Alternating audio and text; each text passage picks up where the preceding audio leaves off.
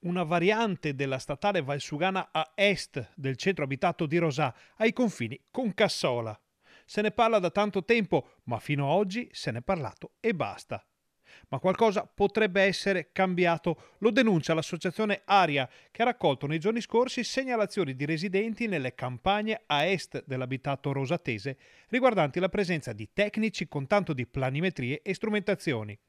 Questi sarebbero entrati nei terreni e avrebbero dichiarato di essere incaricati di eseguire rilievi archeologici in zona, mostrando una mappa con il progetto di una nuova strada, ovvero la tanto discussa variante alla statale 47.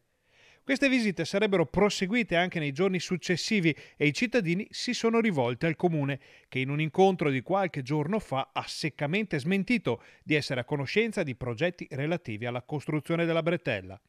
Questo dettaglio viene confermato dal vice sindaco Paolo Bordignon, che per anni da sindaco ha seguito tutte le vicende relative alla statale ed è stato confermato anche dall'attuale sindaca Elena Mezzalira in una richiesta di fornitura di una lista di enti fornitori di servizi e di gestori vari inoltrata da una società che collabora con ANAS nella progettazione di questa variante all'arteria.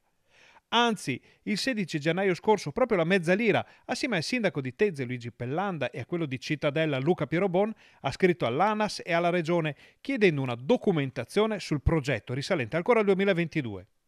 Insomma, dopo anni di silenzi e tira e molla si potrebbe essere arrivati a una soluzione definitiva del problema del passaggio della statale Valsugana nelle zone densamente urbanizzate.